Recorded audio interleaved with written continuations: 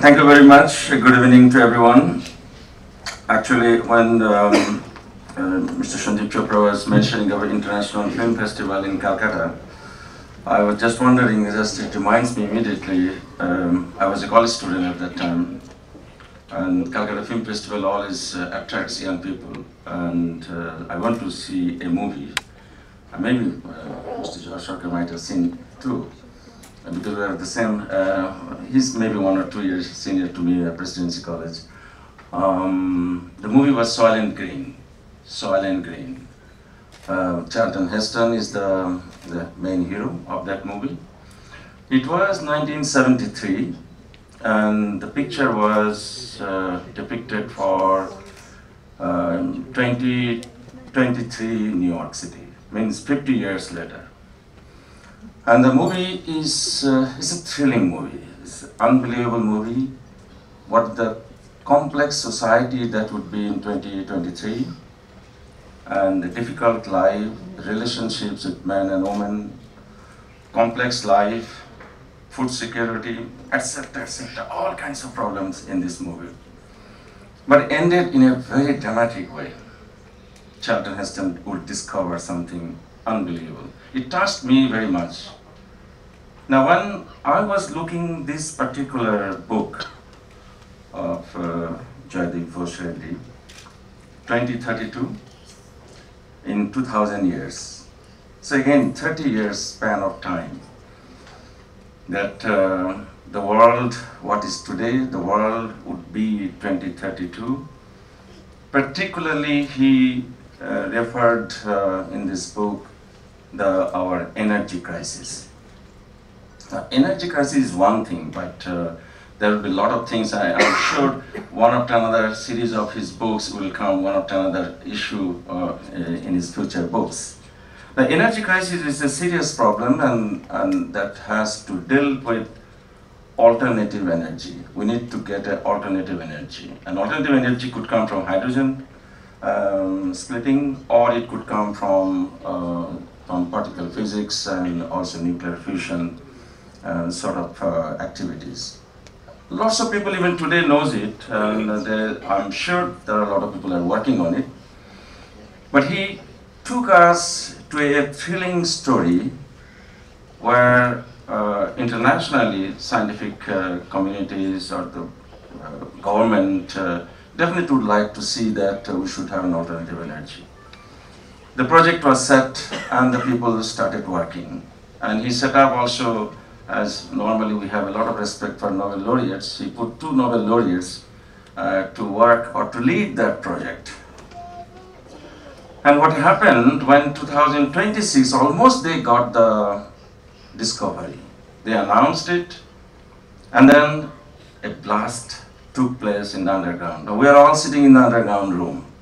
Now, we have Jahar Sarkar and Joydeep Ghosh Reddy, important people are here. So be careful something could happen and then someone has to escape from this story to continue this story in future.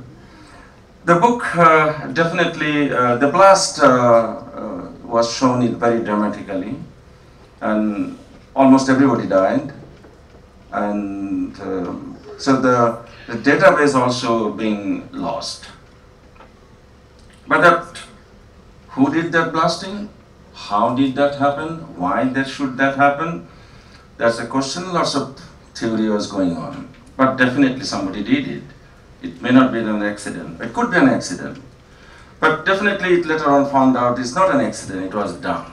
Deliberately done. Somebody did it. Maybe lots of people who have interest uh, that don't like this uh, clean energy, renewable energy, so that uh, the society or the corrupted society or the corrupted uh, corporate system that uh, control the petro uh, deals, uh, they might have done it. I'm not telling this whole story, you have to read it. It's a very thrilling story, you have to read the book and enjoy it. Now, this, then later on it, it found that uh, somebody escaped from that uh, sort of blast who knows the discovery and somebody is also guiding. That is Alec, Alice Mercer. This is the guy, along with what is the name of the lady? Elon, Dr. Eleanor Bassett. Eleanor Bassett. Eleanor Bassett is not, none but a daughter of uh, the, one of the Nobel laureate uh, nuclear physicist uh, who was the leader of the project. Now, because they escaped and they know the know-how of the system, obviously, then the journey of this thrilling uh, sort of spying and kind of uh, um, traveling, it started. It shows from Switzerland to Italy, Italy to Mexico to Brazil, and finally to US.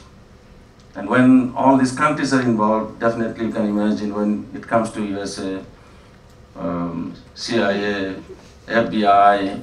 I think he got all possible things that uh, in, in the earth or in the world available. He included everything. And I do not know how he put some of the international um, research organization. I was trying to first to know exactly what does it happen. That sort of institutions do exist. I, ITER, etc., etc., SOURCE, CERN, etc. I could not find. I know lots of organizations that uh, do fund research, do fund uh, kind of uh, scientific uh, uh, studies, but I could not find any one of them. But he connected all of this organization in a very befitting manner, so that uh, when NASA launched a mission to get the particle physics or black material that would be utilized for the fusion uh, purpose, and NASA got it and got it back, and immediately he put it in a, one of the funding agency and, and put it in the source. Immediately the people started working. So every one of the different worldwide agency and, and the people who could be actively involved, they got all involved in this particular story. So definitely when they wanted to kill these two person, the main hero, Alice, uh, uh, Alec uh, Mercer and, and Bassett, Miss Bassett, these two people, and it was, again, it was found that some of the other people, Sasa, one is the lady Sasa, they are not even single agent, they are double agent, they are triple agent, so there's more, much more complications is coming up. It is very difficult who is working for whom. So I, I, first read, I thought something I missed it, and then I read it again. I'm trying to get uh, the, I now I'll, I'll keep this person separately, and I could not find it. And I got in a kind of a spider web, and I'm moving around, and he's moving the audience. You people, when you read it, you will find out that uh, you have to move around and trying to figure out exactly who is running behind and who is mobilizing what. It's an interesting story. I, I, I, think that um, Jadav uh, really you, he made a brilliantly kept uh, the secrecy of this entire story and with the science puzzles lots of interesting science uh, narrated in a very interesting way uh, even don't need to be a nuclear physicist, you can understand it. Uh, because he, he made you believe that this is the only thing needed. It may not be needed at all, but he would make you believe that it is needed. And that is the way the things uh, would make that story uh, interesting. I think one thing I, I, I just, uh, before ending, I would like to say, I think when I wanted to know actually how, what is his age, and, and while talking with him, I realized that he's a very young fellow. And when he said, I asked him even directly that, how old are you? He said, 19. I just couldn't believe that.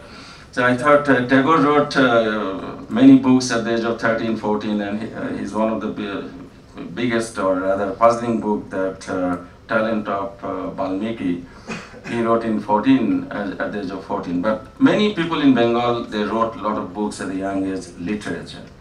But the science fiction and, the, and this thrilling story we always dream about it. We always think about it. But to put up in a book and to keep everything connected this is outstanding. I, I congratulate you and, and really wish you that uh, you, you come out with uh, great things.